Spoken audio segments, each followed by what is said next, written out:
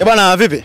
Safi, mambo vipi? Fresh kabisa. Shwari. Sawa, shwari. Mm. Hebu tuambie kwa namna ambavyo umetazama mchezo wa leo ambao umewasababisha nyie kuibuka washindi na hatimaye sasa hivi mnaongoza kundi D kwenye kombe hili la shirikisho barani Afrika. Ah, tunasema haya ni mashindano, sie tumejipanga kia ya mashindano na tumeamua kuyachukua. Kwa hiyo tunajua tulipoteza tukiwa ugenini, lakini tulikuwa tunajua kabisa kwamba haya mashindano haya mara nyingi kila mtu kwake lakini ukipata ugenini japo suruhu, basi wewe umejitahidi katika timu zote zilizofanya vizuri mpaka unafikia unaona kwamba Simba anaongoza ni kufanya vizuri, kwa sababu tumetoa suruhu ugenini. Uh, Bekane kaenda ugenini zote mbili, kapigwa kapigwa hapa kapigwa kule, umeona eh? Lakini amecheza kwake mbili, ameshinda. Alitupiga mbili kule, sie tumekuja hapa na sie tumechukua tatu. Kwa hiyo zile tatu za kule leo deni kalilipa. Kwa hiyo tumechukua tatu zake na yeye kachukua tatu zetu. Tunapoelekea kwingine, tuna mchezo mwingine wa hapa nyumbani, tunaihakikisha, tunataka kuhakikisha kwamba sisi tunakuwa tutaongoza ili kundi sisi kwa uwezo wetu ulivyo. Tuna wachezaji wazuri na timu ilivyo sasa hivi ipo kwenye programu nzuri. RS Berkane walivyocheza leo ni tofauti na ambavyo walicheza kwao. Unadhani kitu gani ambacho kimewafilisha sana? Ah, sio tofauti hapa kwa Mkapa. Hata Al Ahly anachezaga vizuri huko, lakini ukija hapa unakufa. Kama unakumbuka, ukisema kasema vizuri, tukija labda nikukumbushe nyuma tu, AC Vita alitupiga tano kule, alivyotupiga tano sisi, alivyokuja hapa tukaja tukampiga mbili moja kama unakumbuka, Al Ahly alitupiga tano, alivyokuja hapa na yeye akachezea moja bila. Ina maana cha kwake cha kwake, cha kwetu cha kwetu, sisi tunajivunia kwetu, kwa sababu kwetu, kama unakumbuka, pia alikuja Sevilla hapa, mpira ulikuwa mzuri, mwisho tu tukawaachia watoto ndio wakatufelisha. Lakini Sevilla hadi tunaondoka mapumziko, nakumbuka tulikuwa tukiongoza aidha tano au nne, tumemfunga Sevilla, sio timu nyingine, Sevilla.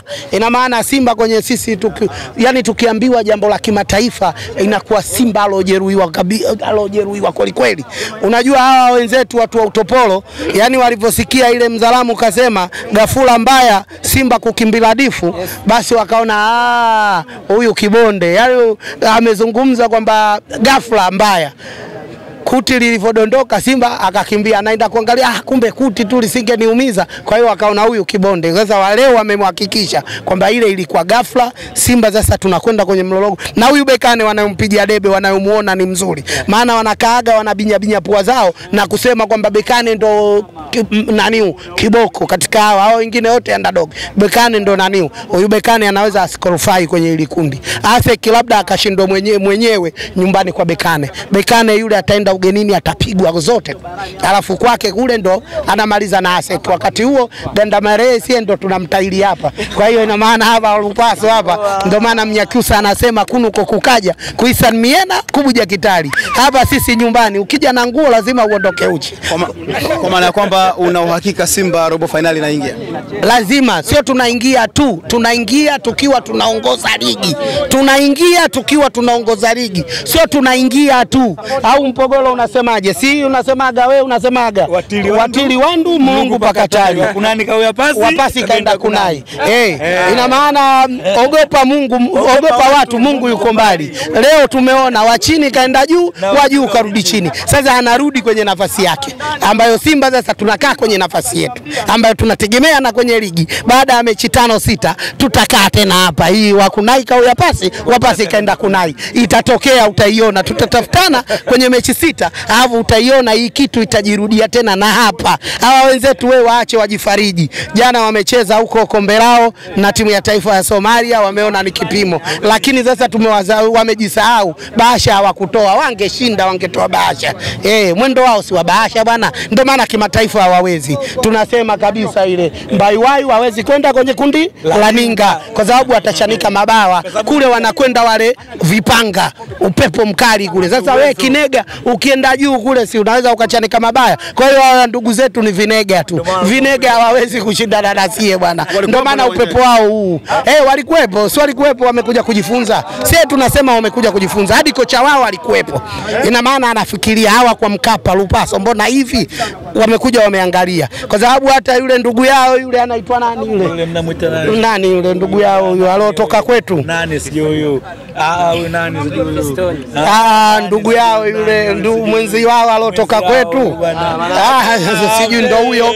anasemaga hapa kwa Simba tatu lazima, lakini sasa hivi anawasaulisha, anawapumbaza. Kwa hiyo tatu ziwe hakuna, ndio maana wanafanya fitina kila fitina. Mara ya kwanza alikuja yule akaongea, oh, sijui nini, sijui maji yaangaliwe maji, watu wanakaa wanamwangalia yaangaliwe maji eh, ile yote ni kututoa mchezoni, lakini kwa kuwa viongozi wa Simba wako kwenye utimamu na wapo, uweze kuwateteresha vyovyote vile, ndio maana tunafanikiwa haya mashindano.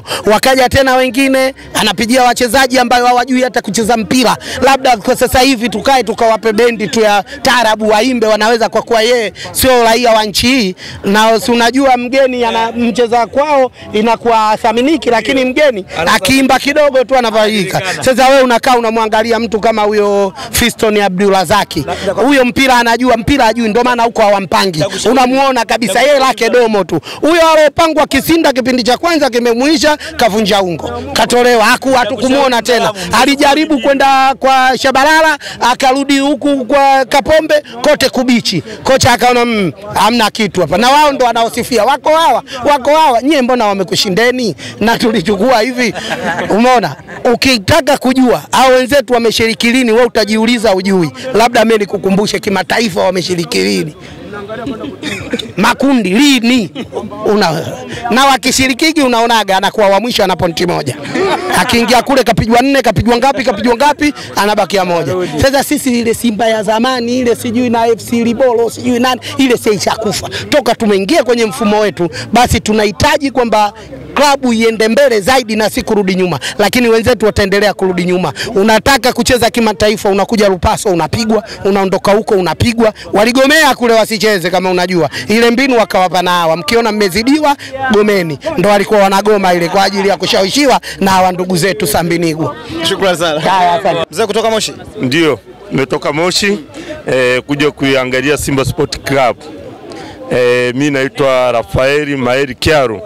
Mi ni mpenzi wa Simba kuanzia utotoni, kwa hiyo na furaha kutoka rohoni. Kwa kweli tutashinda kwenye hili kombe, na wapongeza wenzetu Simba. Kwa hiyo tuzidi kushikamana, tutafika mbali.